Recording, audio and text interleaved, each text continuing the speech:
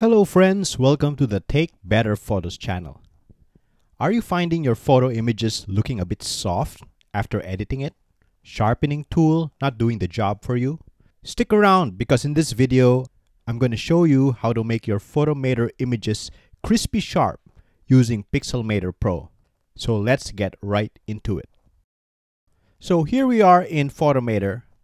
Let's perform some editing to balance the tones. I'll use the gradient tool to reveal detail in the shadows. And I'll use another gradient tool to reduce brightness in the sky. The editing is looking good. Photomator is really great at recovering detail while maintaining true to life color. However, the image is looking a bit soft. Let's add some sharpening.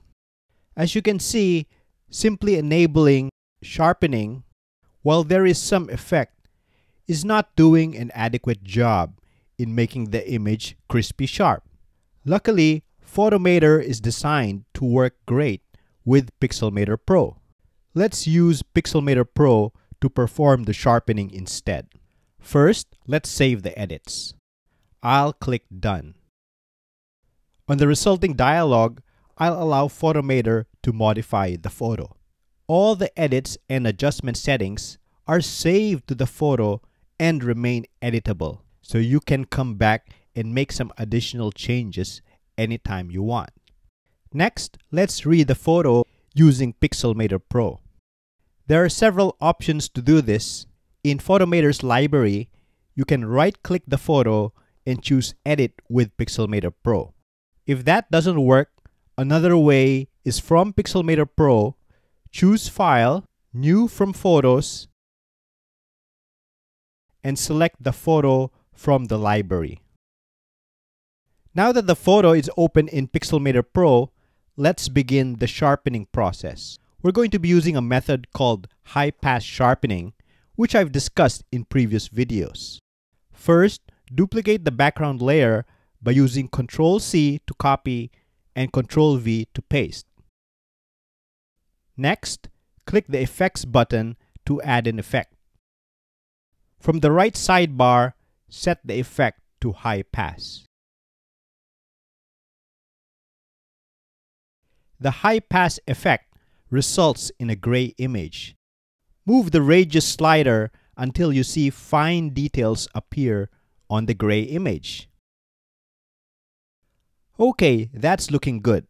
In the left sidebar, Group the first two layers. Next, let's change the blending mode to linear light.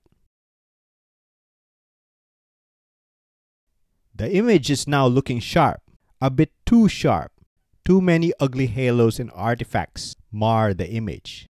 Let's tone it down by reducing the radius.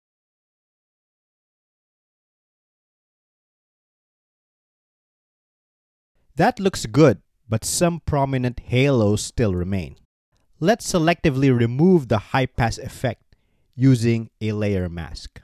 Right click on the group, choose Add Mask.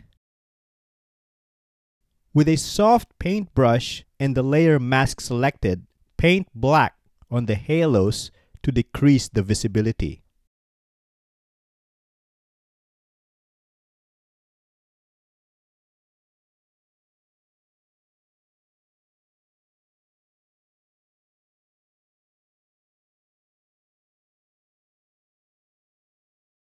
Here is the before and the after.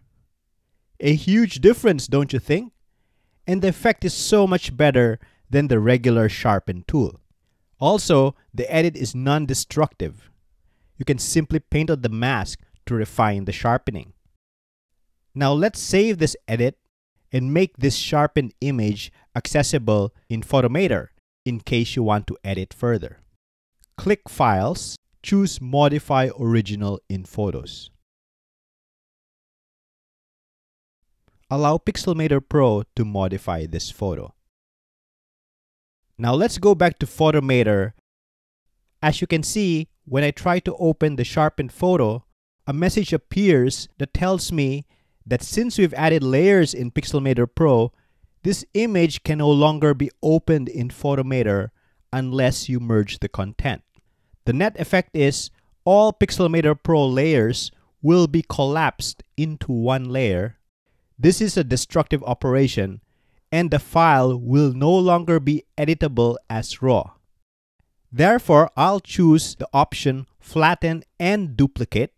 That will keep the original RAW untouched while creating a separate file for our sharpened image.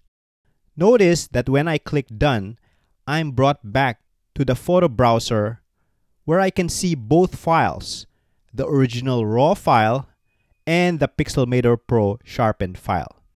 So there you have it. That's how you create crispy sharp Photomator images with Pixelmator Pro. As you can see, Photomator works great with Pixelmator Pro and that's one of the advantages of using Photomator.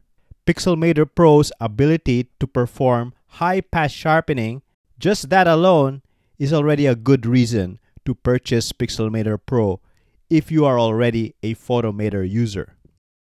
Let me know if you have any other ways to use Pixelmator Pro to improve your Photomator images. Write it down in the comments. And if you like this content, don't forget to like, subscribe, and share to help keep the videos coming. Until the next video, I'm going to see you in the next one. Bye for now.